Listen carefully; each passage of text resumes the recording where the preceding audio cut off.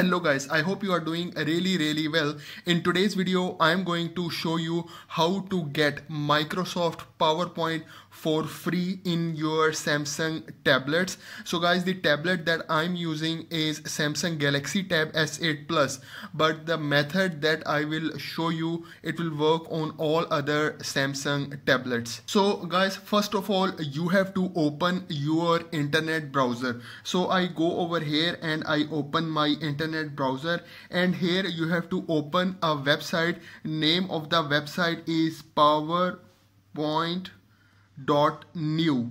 Okay so you can see over here. Name of the website is powerpoint dot new.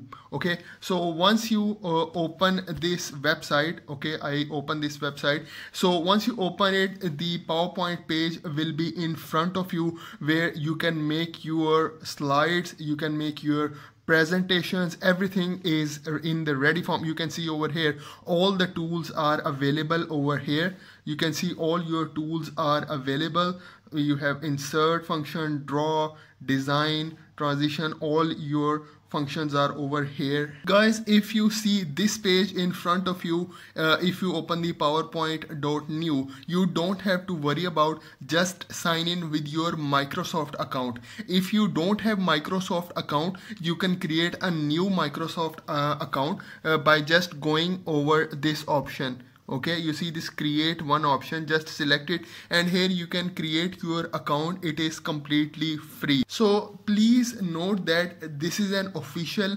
web-based version of Microsoft PowerPoint. So guys let's talk about different tools. Okay so we have all the tools available. If I try to type something over here okay so I type slides for studies. Okay so you can see everything is working perfectly fine over here. If I talk about uh, different tools so if you, I go to the insert function you can insert new slides okay so I will just zoom it okay? So you can see you can insert new slides okay? And then if you want to create tables you can create tables over here. And then uh, we have the pictures option.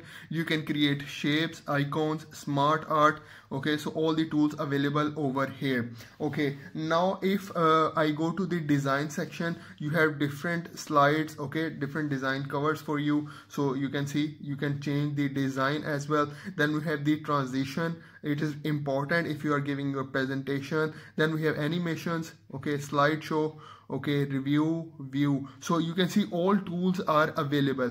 And if you want to use your S Pen you can also use it uh, to write down something. If you want to uh, if you want to uh, draw something you can also draw. So you can see I can write on my slides with my S Pen okay? Uh, then we also have the highlighter option. Then I have the eraser option available over here as well. So guys if you finish with your work you can also download a copy of your work. All you have to do go into the file from here okay? And then you see this option of save as and then here you can see you have the option of download a copy or download as pdf okay? So for example i select download a copy okay? So now it will ask me uh, if my presentation is ready I press download. It start downloading and you can see my file is download. So how I can access it? I just have to go into my files okay? And when I go into my files I go to downloads and here you can see my presentation is over here. Now I just uh, want to mention here one more thing.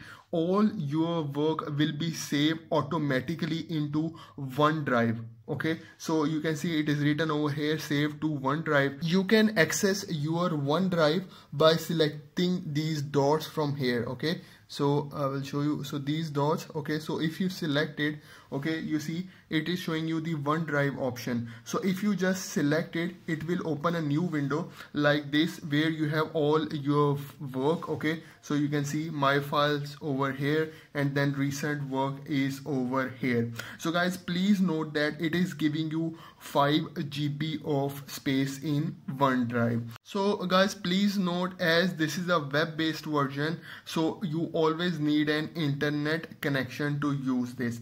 Okay now I just want to show you the function of share. So if you see over here this is a share function. So you can share your work with your friends with your colleagues okay? So it has a lot of options. So you allow them uh, to edit your uh, work. So you can see anyone with the link can edit. But uh, if you don't uh, want them uh, to edit you just select this option and okay you just deselect this option from here okay? So if you deselect it will be okay. If you want to copy a link uh, just again select this share option and then you see copy link option is also available. So you can just select this copy and then it will give you a link. You can copy it and you can send it through any platform. So guys if you want to see your uh, powerpoint dashboard you can also uh, uh you can also access it if you se select these dots from here just select it and then if you see over here powerpoint